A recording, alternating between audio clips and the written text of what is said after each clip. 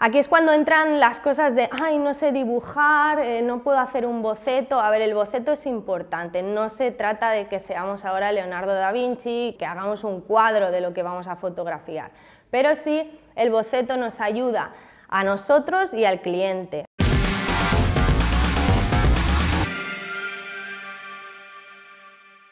Hola, soy Mireia Ruiz, me formé como diseñadora gráfica, soy artista plástica y también hago trabajos de set design o escenografía para producto. Hoy os voy a hablar de las fases que tenemos que pasar cuando se nos plantea un proyecto en el cual tenemos que hacer una escenografía para un producto. El cliente os va a plantear qué producto tenéis que fotografiar. Lo primero que hay que hacer es analizar un poco cómo se comunica esa marca a nivel de dirección de arte, si quiere continuar con su, con su misma estética visual o si os buscan para plantear una cosa nueva y hacer un cambio. En segundo lugar, hay que hacer preguntas como cómo está hecho el producto, qué valores tiene el producto, cualquier pista que nos dé para poder generar una escenografía y buscarle una historia a, ese producto. Intentamos eh, sacar un hilo conductor, un hilo conceptual. La siguiente fase es un poco empezar a imaginarnos qué vamos a utilizar en esa escenografía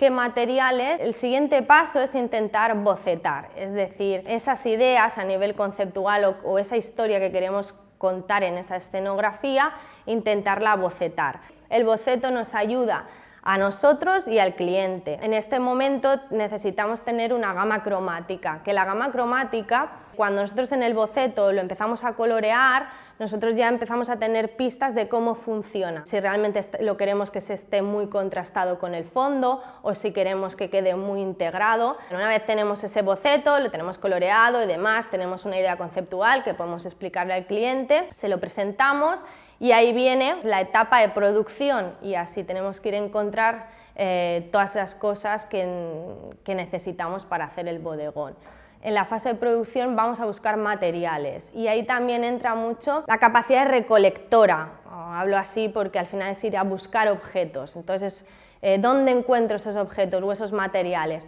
Podemos ir a ferreterías, por ejemplo, podemos ir a mercados de segunda mano, podemos ir a casa de una tía. Es interesante tener objetos o texturas o tejidos, algo extra.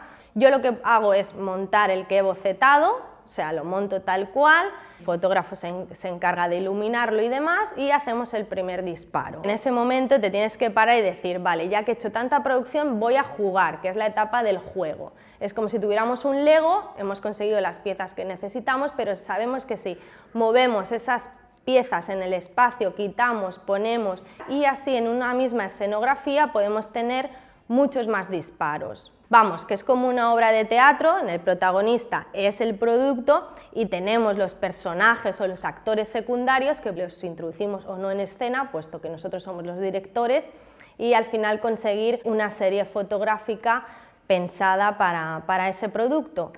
Y más o menos eh, he resumido un poquito lo que se hace en set design o escenografía para producto. Y muchas gracias.